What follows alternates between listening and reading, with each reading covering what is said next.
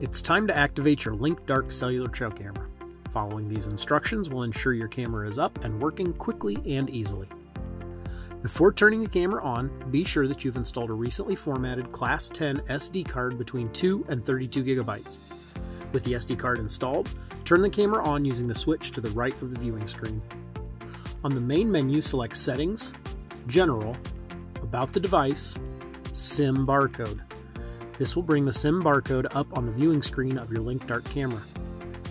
At this time, open your SpyPoint app and select Activate New Camera either from the Login menu or by selecting the plus sign button on the camera list in the app. You will be taken into the activation process. Select Link Dark from the menu and click Next. You will be reminded to verify that an SD card is installed before proceeding.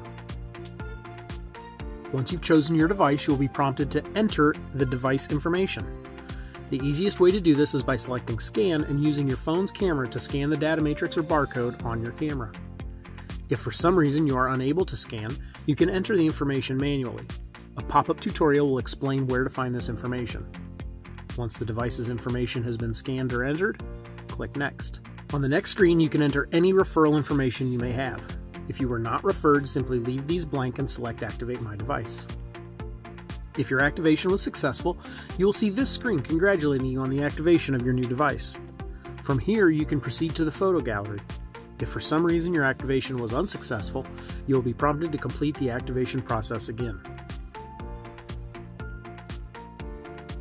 Return to the main menu screen on your Link Dark camera. Here you will see a signal status bar indicator much like you have on your phone. Verify that you have a strong, stable signal. At this time, we are going to power the camera off. Make sure you're still viewing the newly activated Link Dark in the Camera tab of the app and go to Settings. Under Basic Settings, change the delay to Instant. Then, go to Cellular Setup and change the transfer frequency to each detection. You can also change these settings on the camera by going to Settings, Photo, Delay,